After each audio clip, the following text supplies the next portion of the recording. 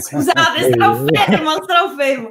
No, Eh, no, no, per favore, no. anzi, anzi, Ma, no, no. ma io, ma io gesticolo anche al telefono, cioè questa è la cosa tragica, proprio non, eh, non ce la faccio a non gesticolare. Comunque, è l'ultimo ecco, cuoricino che metto, però, eh? lo dico Mm. più che altro.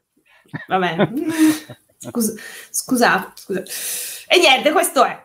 Quindi, beh, vi abbiamo avuto liti. No, no, Abbastanza, no, no, sì, perché mi aspettavo molto peggio, sei stata buona, dai. Mm, Senti, Vabbè, Vera, allora, senti, Sì. puoi rispondere solo sì, no o non lo so. ok, Riesci? ce la posso fare? Ma tu, sotto sotto, sei una gran Marnazzi? No, Allora, l'altra domanda mia è cosa significa gran Marnazzi? Però te lo voglio chiedere mettendo un sottofondo diverso dalle nostre facce. Però ok. più sarà lunga la tua spiegazione, più dovremo sopportare questa base. Vai. Ah, vabbè, è il simbolo di Gran Marnazzi, dei Gran Marnazzi, anche di Gran Marnazzi Italia. Gran Marnazzi è un pedante, mediocre conoscitore della propria lingua madre che si arrocca sulle regole come se non ci fosse un domani. Ecco perché si chiama nazista. Nazista non ha nessuna accezione positiva.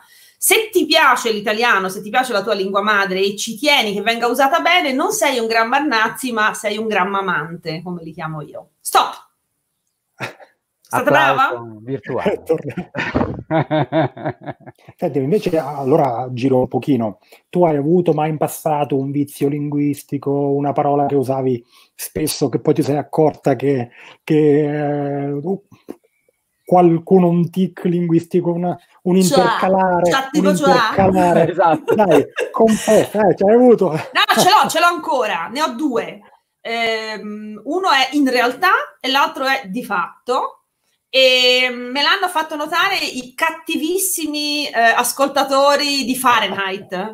eh, che ogni tanto sono andata da, da Loredana Lipperini e tutte le volte c'è qualcuno che "Eh, però dice in realtà e di fatto un po' troppe volte. È vero, però abbiate pietà perché quando si parla live, eh, ogni tanto la- la- come si può dire, l'organizzazione del discorso richiede che ci sia un buffer, no? Cioè qualcosa che ti permette di pensarci un po' di più.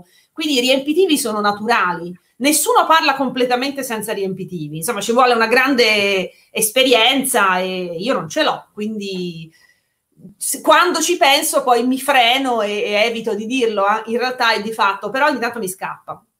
Cioè,